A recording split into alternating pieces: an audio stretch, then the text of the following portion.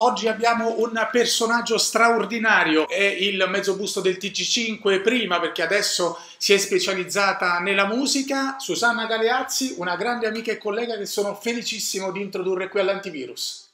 Ciao Claudio, che presentazione, me la fai? Mi è piaciuta da dire, non Meno so se mi ricapita.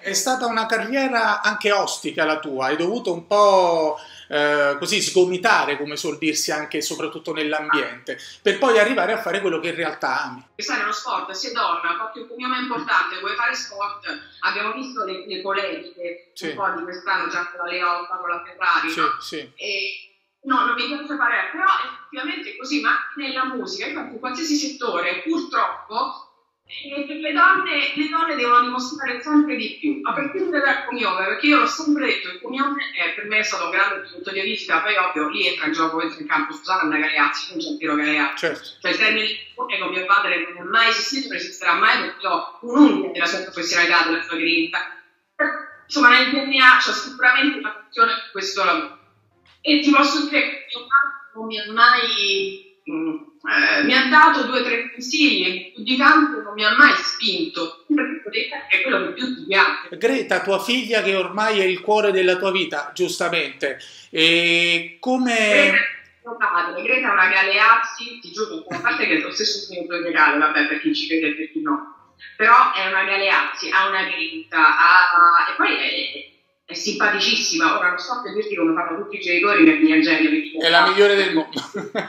sì, però mia figlia è una grande paracula, si può dire Claudio? Lo possiamo dire qua.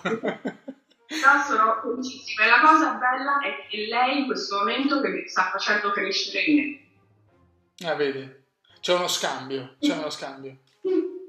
Sei in prima linea nella lotta, se possiamo parlare di lotta per risollevare questo settore così importante che come dici coinvolge tantissime persone, non soltanto quelli che stanno davanti alla telecamera o su un palco. Eh, sono arrivati dei fondi, state lottando per che cosa? Eh, nello specifico eh, qual è diciamo, l'auspicio a breve e medio termine? Non abbiamo avuto nessun fondo, ma non è neanche previsto, perché è soltanto il sostegno ai teatri, alle produzioni, è il sostegno ai lavoratori, perché noi non abbiamo diritto a niente in questo momento, non abbiamo il contributo IMSS, non c'è niente, anche perché se non hai un contratto non puoi ambire ad avere niente e questa è una che vive, come sai, a scritture che già prima erano precarie, scambe, cioè, oggi siamo completamente fuori del gioco. Una doppia interpretazione, perché alcuni insomma sono usciti per le strade e fanno finta di nulla, altri ancora hanno molta paura.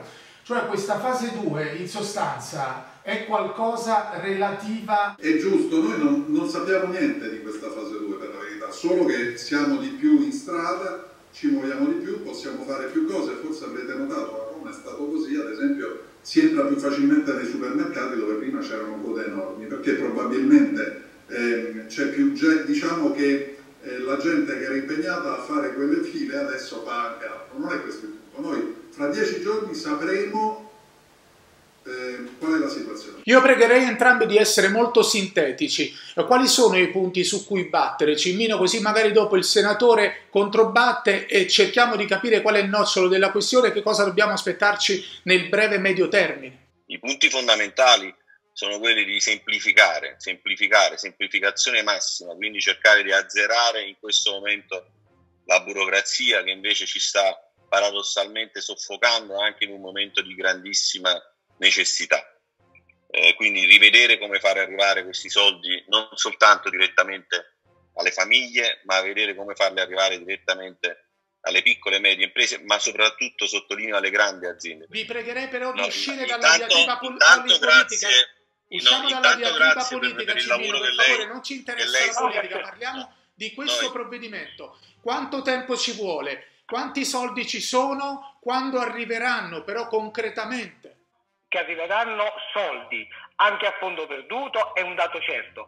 Io in questo momento la serenità purtroppo non la possiamo garantire a nessuno perché siamo di fronte ad una crisi dove la possibilità del contagio ce l'abbiamo Quanto tempo? Una settimana, due? Quanto tempo, Beh. senatore? Allora, il provvedimento, il provvedimento verrà sicuramente licenziato al massimo nei prossimi dieci giorni, al massimo.